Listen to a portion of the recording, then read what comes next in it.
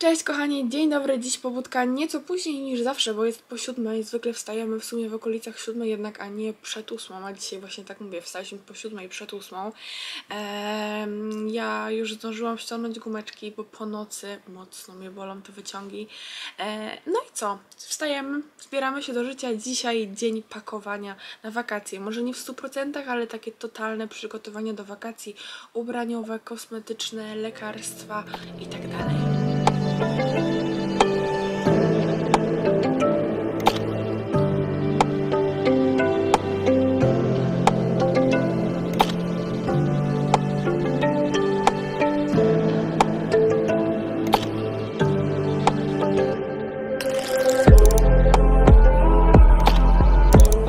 Pościeliłam łóżko, ogarnęłam sypialnię, zjadłam śniadanie, no i przychodzę do łazienki, właśnie przemyłam sobie buzię tonikiem e, po nocy i teraz nałożę sobie maskę. Mam tutaj taką maskę z Closhi Detox White Mask, to jest taka maska detoksy, detoksykująca, całkiem spoko produkt, także dzisiaj sobie ją nałożę i troszkę z nią posiedzę.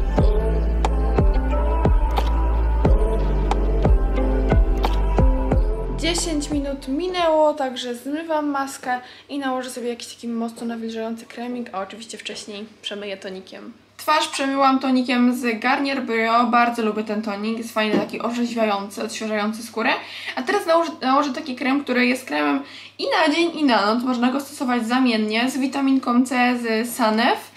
Eee, takie dwie, trzy pompki mm, nakładam na twarz. Na razie się nie będę malowała, mm, także mogę bez problemu sobie nałożyć troszkę grubszą warstwę i w niej pochodzić. I dla ciekawskich osób używam kremu pod oczy, ale krem pod oczy zwykle nakładam na noc. Jakoś na dzień, po prostu najczęściej o tym zapominam, e, bo na dzień idzie krem taki e, pod makijaż, jeśli od razu się maluje, to idzie krem z SPF-em, a jeśli tak jak dzisiaj, no albo wcale się nie maluje, albo będę malowała się po południu, to po prostu nakładam sobie jakiś inny krem, siedzę w domu. Raczej mam okna pozasłaniane, więc jakby stricte nie potrzebuję tego SPF-u.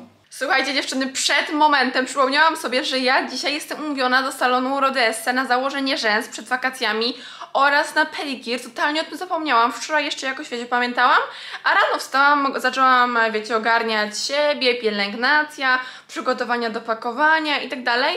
Po prostu nagle patrzę w kalendarz, a ja mam na godzinkę 14 założenie rzęs i w tym samym czasie, kiedy będę miała robione rzęsy, dziewczyny zrobią mi również pedikir, także fajnie, no bo nie będę musiała marnować dodatkowej godziny na siedzeniu na paznokciach u stóp, tylko w czasie wykonywania rzęsek będę miała zrobione pazurki, także na plus mega.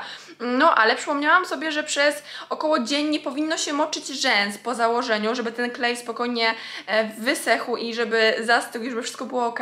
Także po prostu przypomniałam sobie, że muszę biegiem umyć włosy e, przed wyjściem, żeby później po prostu, no nie wiadomo, myjąc włosy pomoczę te rzęsy. Żeby tego nie zrobić, uniknąć, umyję włoski teraz. Nałożyłam sobie na szybko peeling do skóry głowy, dostępny w Studio Vivien ze Schwarzkopfa. Bardzo fajny produkt. Czekam z nim około 5 minut po peelingu, mm, żeby te wszystkie składniki aktywne fajnie zadziałały na skórze głowy, no i będę myła włoski.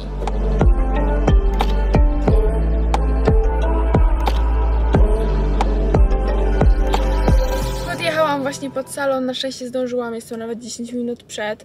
A teraz muszę się przygotować na około 2, może nawet 3 godziny leżenia, bo tyle mniej więcej zakłada się rzęsy od zera. Um, także będzie chwila relaksu. Um, a w ogóle włosy Myślałam, że będę miała tak 30 minut, bo tak zwykle około 30 minut y, mycie plus suszenie. E, tak 45 minut zamykam się z pielęgnacją a włosów, a teraz kurde myłam je prawie godzinę, serio, z suszeniem, z wszystkim wyszło mi prawie godzinę, więc myślałam, że się spóźnię, ale na szczęście jestem na czas. E, na szybko, szybko biegałam po domu, biorąc rzeczy, ubierając się, także e, spoko. Dotarłam, wchodzę do SC. Już słuchajcie, leżę, możecie zobaczyć sobie moje rzęsy przed i będziemy zaraz doklejać. Przygotowujemy oczka do zakładania rzęs, a hałas w tle to właśnie frezarka, bo robimy w tym samym czasie pedikir.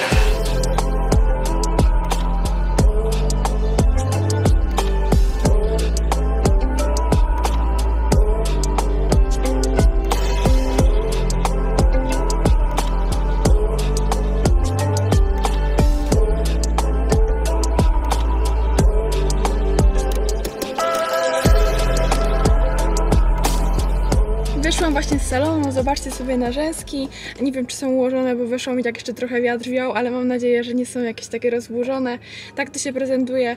Rzęsy to jest ogromna wygoda. Ja zawsze to powtarzam, że to jest mega sprawa. Gdybym nie pracowała malując, wykonując make-upy, nagrywając i w jakiś sposób niszcząc jednak te rzęsy, zmywając często mocne makijaże, to bym nosiła na okrągło sztuczne rzęsy, serio. Ale słuchajcie, teraz e, lecę szybko do mamy, muszę na chwilkę do niej podskoczyć, także się troszkę spieszę. E, odezwę się już z domu i będziemy pakować. I słuchajcie, mała zmiana planów. Wróciłam do domu, ogarnęłam się, przebrałam się e, i okazuje się, że najpierw musimy podjechać do sklepu, ponieważ Kacprowi brakuje okularów przeciwsłonecznych. E, miał chyba z trzy pary, ale wszystkie pogubił albo popsuł. Na jednych usiadł bodajże, a jedne po prostu gdzieś zginęły. Trzecia para pewnie gdzieś jest, ale nie mamy pojęcia w tym momencie, gdzie jest, więc podjedziemy kupić je najprawdopodobniej do TK Maxa. Tam jest duży wybór o fajnych okularów, takich porządnych, więc mm, tam myślę, że uda nam się coś fajnego złapać. Dodatkowo chcemy podjechać jeszcze do kantora, żeby wymienić pieniążki e, na euro do Turcji, także lecimy do sklepu i do kantora.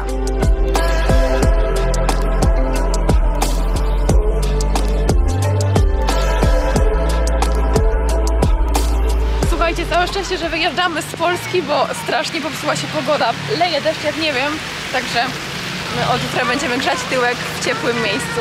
Przymierzamy, wybieramy. Kastrowi podobają się te, ale są trochę krzywe jakby, więc próbujemy je może tak- naprostować na nosku. Te są najlepsze, a nie, że mi się Tak? podobają. No. Aha. I słuchajcie, koniec końców w e, TK Maxie nie kupiliśmy, wyszliśmy, był na szczęście Vision Express i Kacper kupił okulary. Że dokupiliśmy jakieś ubezpieczenie, ale upadła mi kartka, ale jest zadowolony. Takie coś podobne jak ma te mm, blokujące światło niebieskie, więc spoko, zadowolony jesteś z tych okularów? Fajne. A teraz jak widzicie spacerujemy po Media Expert, nie kupujemy nic na wyjazd, tylko Kasper chciał... Mediamarkcie. Mediamarkcie. Bo Kasper... Mama. No, ale Kasper chciał zobaczyć jakieś tam wyświetlacze. Kasa wymieniona, mm, mamy okulary, czyli dwie rzeczy, które mieliśmy załatwić, udało się załatwić. Kasper już miał takie coś po tym Tikiem Maxie, że chodź, jedziemy do, e, do Libero. W Libero, jest, w Libero jest Sandux, gdzie ja kupowałam okulary. Ale tak mi się nie chciało jechać, słuchajcie, dzisiaj do Katowic, bo mijaliśmy dzisiaj dwa wypadki. Teraz jadąc do M1, to jest poważny wypadek. Te, które były tak dwie minuty przed nami. Dokładnie. I rano jadąc do Katowic, do biura podróży, bo jeszcze tam załatwialiśmy na szybko pewien, temat związany z wyjazdem, e, po prostu e, tak samo, gdzieś tam na drodze cztery samochody się zdarzyły. Raczej nic poważnego, ale no tak czy siak korki były, więc strasznie mi się nie chciało jechać do tych Katowic po raz kolejny, więc całe szczęście, że natrafiliśmy na Vision Express. Ale ładne te okulary. Właśnie mówiłam przed, momentem w sklepie też, że bardzo podobne mm, takim stylem, wyglądem do okularów tych blokujących światło, które Kasper ma z Eye Shieldu. I Kasper się w nich dobrze czuje, więc to najważniejsze.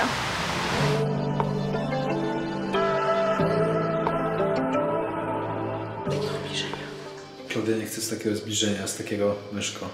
Wyszedł mi, słuchajcie, pryszcz na nosie, tak bolą. Ale to już wszyscy wiedzą od, od początku odcinka. Nie, na story nikt nie wie. Znaczy tutaj nikt nie wie, ja na story mówiłam tylko. No ale widać go. Aha, mhm. Uwierz mi, to nie tak, że... No i co? Jedziemy z, targo, z wszystkimi szpargałami, byliśmy u rodziców. Poprosiłam mamę, żeby kupiła mi furoksazę w aptece. Mam, Wiktoria mi jednak kupiła, była akurat w sklepie. No, mamy jeszcze torby, które Kacper trzyma i któryś z tych plecaków będziemy brać na lotnisko, bo teraz przez koronawirusa jest jakiś taki dziwny, dziwna zasada, dziwna, Przepis dziwny taki. przepis, e, że e, nie można mieć takich, wiecie, podręcznych walizek małych. Tylko można mieć Bagażówek, miękkie no. torby, miękkie plecaki.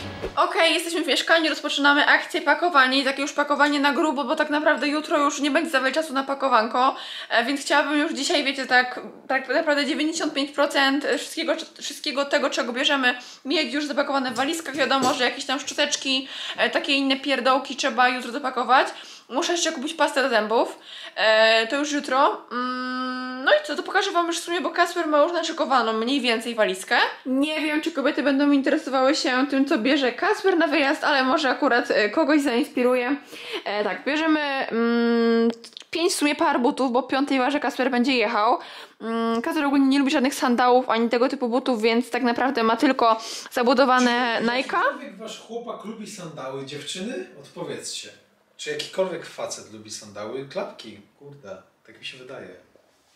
Dobra, bierze te, bierze e, klapki takie zwykłe wsuwane, japonki na plaży, wiadomo, piasek i tak dalej, ciężej się chodzi w takich wsuwanych klapkach. No i ma jeszcze jedną parę nową e, klapków takich e, z NASA. Mm, następnie e, ciuchy. No i tutaj wiadomo, ileś tam koszulek z krótkim, koszulek z, krótką, z krótkim jest tutaj sporo. Jedna bluza, gdyby miały być jakieś chłodne wieczory, chociaż się w ogóle nie zapowiada. E, czapka z daszkiem, mamy gdzieś jeszcze jedną, którą musimy odszukać. E, gdzie Kasper jest ta druga? Może w aucie? Chyba w samochodzie jest. Mm, dwie pary spodenek e, do kąpieli. Jeszcze ma trzecią, która nie wiemy, czy jest dobra, więc musimy przymierzyć. Kacper to znaczy musi przymierzyć. E, spodenki z krótkim, nie wiem nawet ile tu jest par. Raz, dwa, trzy. Trzy pary spodenek z krótkim, jeszcze czwarta jest na suszarce się suszy. No i jedna para długich spodni, takich dość cienkich, też właśnie ewentualnie gdyby pogoda miała się zepsuć. No i tak naprawdę z Kacpra rzeczy jest tylko tu jeszcze bielizna, okulary, które kupiliśmy i najprawdopodobniej jedna część walizki u Kacpra będzie pusta. Tak mi się wydaje. Dopakuję tutaj Dopakuję tutaj jeszcze na pewno, e, wiadomo, kosmetyki do pielęgnacji, które skończą się w trakcie pobytu, więc będzie miejsce właśnie na jakieś pamiątki ewentualne. Ja biorę statyw do nagrywania. No i kosmetyczka z lekami, która też naj, najprawdopodobniej będzie u Kacpra, bo Kacper ma dużo miejsca w walizce, jak widzicie. E, wzięłam z leków, tak na szybko, nifuroxazy, wiadomo, na takie żołądkowe sprawy. E, wzięłam Wix, gdyby nas zapało jakieś przeziębienie. E, mam także stoperan, wiadomo, stoperan e, też może się przydać, mam nadzieję, że nie, ale może. Orofarmax są pastylki na gardło, na ból gardła. Probiotyk, wiadomo, też na jakieś problemy żołądkowe, które mogą się zdarzyć w Turcji. Tutaj mam antybiotyk nieotwarty, który miałam przepisany na zapalenie ucha, więc w razie czego wzięłam, bo ja faktycznie z uchem lubię mieć problemy. Mam też krople do nosa, mm, taki aerozol. Chyba jeszcze jedne krople do nosa i te mam już zacząć brać dzisiaj przed lotem do samolotu. Mam urofuraginę na jakieś tam zapalenie pęcherza i tak dalej. E, oprócz tego Spumax na jakieś wzdęcia, wiecie, jakby coś tam nam zaszkodziło. E, I przeciwbólowe tabletki. Ibuprofen. Ibuprom. Tutaj jakieś takie witaminy. Witamina D, tutaj do łykania chyba witamina C bodajże. Termometr. Oprócz tego mam jeszcze do ucha kropelki, bo tak jak mówię, z uchem lubię mieć problemy, więc te kropelki, które miałam potwierane przy ostatnim zapaleniu ucha, które było 2 czy 3 tygodnie temu. Jeszcze te krople powinny być dobre, więc je pobrałam w razie czego. Woda utleniona, oktaniseb na jakieś skaleczenia, to już pokazywałam. Tutaj jeszcze mam solpadeinę. Wiadomo, też się może przydać, to są przeciwbólowe tabletki do rozpuszczenia. Mam wapno, mm, kilka kapsułek do rozpuszczenia, też właśnie na jakieś uczulenia i tak dalej. Mogą się przydać. Eee, czyli altacet na jakieś, e, wiecie, urazy ewentualne. Mm, mam też maść przeciwbólową, też właśnie na jakieś urazy, jakieś kontuzje i tak dalej. Mm, I plastry wodoodporne tak naprawdę z takiej kosmetyczki to wszystko, kosmetyczki, apteczki bardziej. Jest tego sporo i może część z Was może pomyśleć, że jestem e, szalona, e, że mam tak dużo rzeczy, mm, ale jakoś tak moja mama zawsze brała ze sobą większość takich potrzebnych lekarstw, które mogą się przydać ewentualnie, żeby później nie szukać po tych zagranicznych aptekach. Warto jest mieć to przy sobie, jeśli mamy miejsce w walizce. Przynajmniej faktycznie mnie tak nauczyli rodzice i to samo robię, e, jak jestem, wiecie, dorosła i lecę sama na wakacje.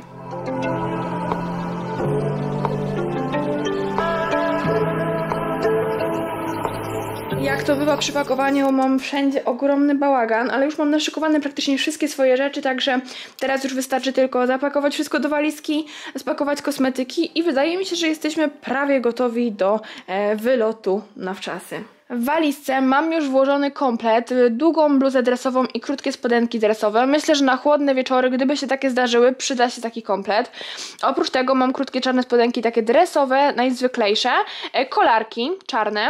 Tutaj mam takie bardzo cienkie, e, letnie spodnie w kwiaty, długie, z długą nogawką. Kolejny set, e, koszulka, taki topik i spodnie z, długim, z długimi nogawkami, również z takiego cienkiego, przewiewnego materiału na wieczory. Tutaj mam taką bardzo elegancką, może na jakieś kolacje, bluzeczkę z odkrytymi ramionami z Naked. Myślę, że będzie też fajna do zabrania. Oprócz tego mam taką, taką fajną pelerynkę, taką narzutkę, e, nie wiem jak to nazwać w sumie, takie kimono troszkę, właśnie na kostium kąpielowy, też z Naked. Miałam ją na Cyprze dwa lata temu i dalej jest wszystko z nią w porządku, więc zabieram ją również na ten wyjazd ze sobą. Wzięłam jeden sweterek z długim rękawem, gdyby faktycznie pogoda się jakoś zmieniła, bądź na przylot do Polski, może się przydam. Oprócz tego elegancka taka cieniutka bluzeczka, No i tutaj są właśnie wszystkie e, koszulki z krótkim rękawem. Mam kilka sztuk, nie wzięłam jakoś bardzo dużo, bo wiadomo, że mm, też tych dni nie ma za wiele. Jesteśmy na 7 nocy, 6 dni tak naprawdę, więc e, wiadomo, że na wakacjach częściej się przebieramy, częściej się pocimy, ale zdecydowanie powinno to wystarczyć, jeśli chodzi o krótkie rękawy i o długie rękawy. Wzięłam również dwie piżamki. Jedna jest taka z krótkim rękawem z, HN, z na ramionczkach, przepraszam, z, z H&M-u e, i druga mm, to jest taka e, z Noobs e, Nubes czy Nubes, nie wiem jak się czyta, leniana z dłuższym rękawkiem, z troszkę dłuższymi spodenkami, także gdyby była mocna klima w hotelu, to może właśnie w tej będę spała, także też wrzucam. Topy na ramionczkach, ich wzięłam no troszkę więcej chyba niż krótkich rękawów nawet, bo myślę, że w nich będę chodziła nawet częściej niż w krótkich rękawach, ma być bardzo gorąco, pogoda zapowiada się naprawdę upalnie, ponad 30 stopni każdego dnia, także tych topów na ramionczkach wzięłam najwięcej, no i tak jak mówię, wydaje mi się, że w nich będę chodzić najczęściej.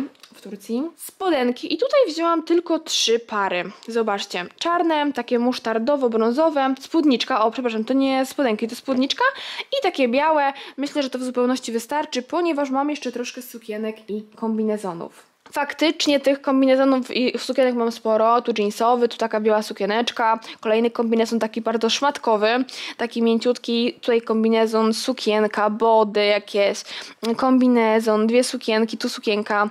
Tutaj tak samo sukienka. No nie będę wam tak pokazać, wiadomo, że za wiele nie widzicie, ale tych sukienek nabrałam trochę. E, no wiadomo, na basen, na plażę lepiej się chodzi w takich ubraniach, więc e, nie wiem, czy przypadkiem rano, jak wstanę jeszcze nie przejrzę wszystkiego, czy nie mam tego za dużo, bo zapakowałam się jak na dwa tygodnie, więc może z czegoś zrezygnuję, ale to już jutro rano takim świeżym umysłem do tego podejdę. Na razie wrzucam to wszystko, co mam do walizki i zobaczymy, czy zmieści mi się to w jednej połówce torby.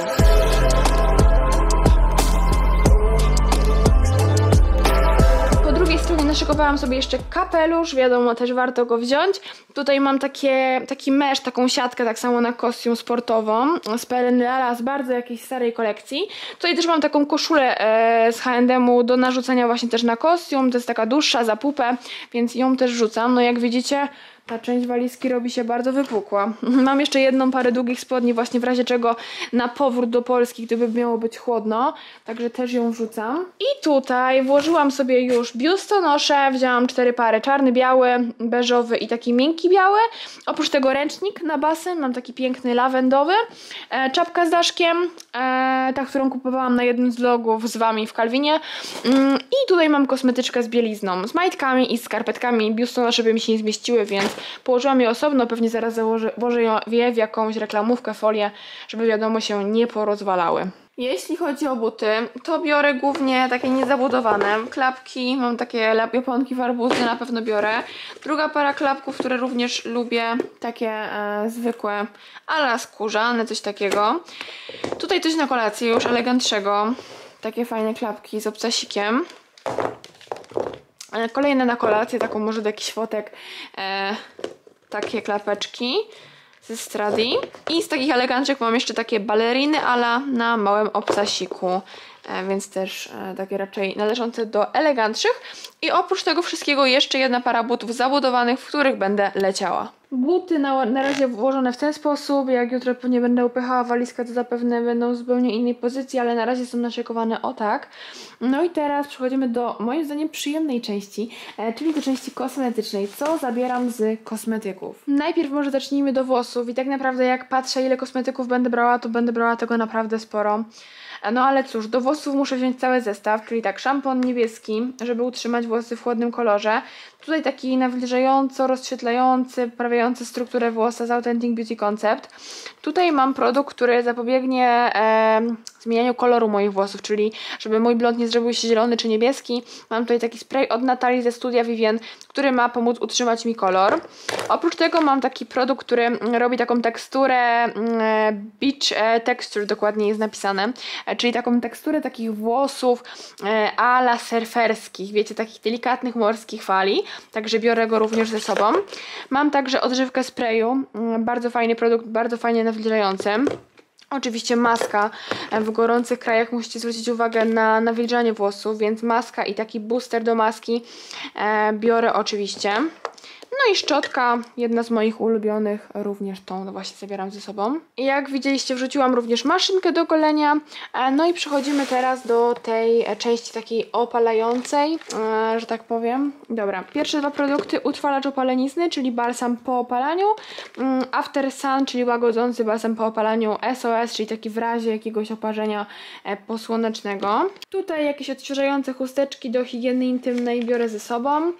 Żel oczyszczający do mycia twarzy jest w bardzo dużej butelce, ale kurczę, spróbowałam go wczoraj i bardzo mi się spodobał, bardzo mi się sprawdził, więc chciałabym go zabrać ze sobą, więc albo wezmę go w takiej całej formie, albo jak walizka będzie ważyła za dużo, to po prostu e, odleję sobie go do czegoś innego. E, mam też taki mini płyn e, żel do mycia ciała. Myślę, że w hotelu będziemy mieć żel do mycia ciała, ale w razie czego też biorę jeden mały taki swój, bo wiem, że mam sprawdzony ten zapach i bardzo lubię, jest taki odświeżający. Następna tura, mówiłam, że kosmetyków będzie naprawdę dużo. Tutaj mamy tak, do twarzy do opalania 50, do twarzy do opalania 50, do ciała do opalania 50, spray rozświetlający do skóry E, do ciała do opalania 30, do ciała do opalania 30, czyli do ciała mamy tak naprawdę trzy te mm, ochrony powinno nam bez problemu wystarczyć. Tutaj mam taki mini e, żel do oczyszczenia twarzy i myślę, że wezmę mm, też dodatkowo ten e, jako taką mini, mini próbkę. Mm, oprócz tego z Aven. Mam też do włosów ochronę przed słońcem z Seboradinu. E, I taki mały aloesik w razie W, w razie właśnie na jakieś oparzenia. E, tutaj mam takie malutkie płyny micelarne. Ten mam z olejkiem, czyli ten rozpuszcza nam e, eyeliner, tusz i tak dalej, więc on się przyda nawet chociażby do pomadek matowych. Tutaj mam taki mały płyn micelarny i jeszcze nie wiem, czy wezmę ten, czy wezmę ten duży z Aven. Zobaczę. Malutki tonik, na pewno go wezmę, fajne, maleństwo. E, balsam do ciała, taki malutki. Oprócz tego po opalaniu myślę, że taki malutki też może mi się przydać, bo to jest taki zdecydowanie tłustszy mm, balsamik. Sorry, co ja mówię? Ciągle mówię o balsamiku, a to jest skrap. To jest skrap do ciała, sorki, pomyłka. Mm, tutaj mam jeszcze maskę do twarzy aloesową i tutaj też taką mocno nawilżającą. No i płyn do higieny intymnej. E, obok e, chusteczki do zmywania makijażu, w razie czego to jest lekkie, więc bez problemu można to wrzucić do walizki. Pilnik, gdyby coś się stało z paznokciem. E, I tutaj mam ten taki masażer do twarzy. Też sobie go wezmę, będę wkładała go do lodówki i będzie tak fajnie, przyjemnie nim się ochładzać i masować sobie skórę. W swojej kolekcji peelingów znalazłam jeszcze taki peeling do ciała cukrowy z Eveline i on w sumie będzie fajniejszy, więc zamiast tego z mm, The Body Shop wezmę właśnie ten z Eveline w saszetce. Szczotkę jednak wymieniłam na tą z Tangle Teasera. Dorzucam jeszcze taki mały peeling e, z taupy e, i taki mini serum, taki mały koncentrat z Lancome. Tutaj mam na przykład kosmetykę na kosmetyki do makijażu, ale to zapakuję już rano, malując się na lotnisko. Mamy też torbę basenową, jest to taka torba, którą dostałam w ogóle w PR paczce od Kerastas. Naprawdę jest duża, więc spokojnie dwa ręczniki, jakieś wstępne kosmetyki i jakieś najpotrzebniejsze kosmetyki nam się zmieszczą. Oprócz tego mam też taką kosmetyczkę, taki worek do środka, w którym mamy przegródki. A oprócz tego jeszcze w nim w zestawie miałam taką mm, jakby folię na telefon albo na coś takiego, co nie powinno przemoknąć. E, i taki mały portfelik na jakieś takie drobne pieniążki do przypięcia w środku w tej kosmetyczce, także myślę, że fajna opcja właśnie do, środku, do środka taki organizer. Okej, okay, mamy poranek, ostatnia godzina w domu, za godzinę jedziemy już e, na lotnisko, także mam ostatnią godzinę na ogarnięcie siebie i dopakowanie rzeczy e, do walizki, no i do plecaków, czyli do bagaży podróżnych. Tak jak Wam powiedziałam wczoraj wieczorem, kosmetyki spakowałam do takiego, mm, takiej kosmetyczki z zawieszką na, e, to się nazywa, na, na, na na kaloryfer w łazience albo na jakiś wieszak po prostu. Mm, I tutaj mam tak, mm, paletka, lusterko, błyszczyki, pomadki do ust, y, tusz do rzęs, pędle pod, pod lusterkiem.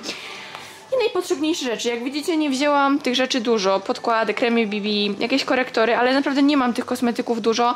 Nie chcę za dużo wziąć, bo wiadomo, że to wszystko waży, a na wakacjach i tak nie maluje się jakoś mocno. Zwykle to jest mega delikatny makijaż na basen, wcale się nie maluje.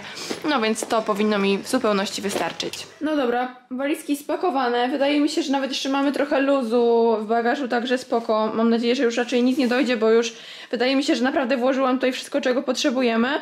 E, także e, tak to się prezentuje. Mm, Zważymy walizki u rodziców, żeby zobaczyć, czy faktycznie mieścimy się w 20 kg na osobę, ale myślę, że spokojnie. A ja teraz lecę się szykować, malować i ogarniać już do wyjścia, tak na gotowo.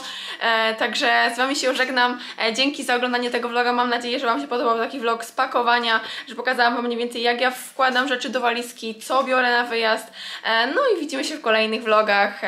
Myślę, że na pewno w jakimś materiale z wyjazdu. No i wiadomo, w kolejnych z życia, z życia codziennego. Buziaki, pa!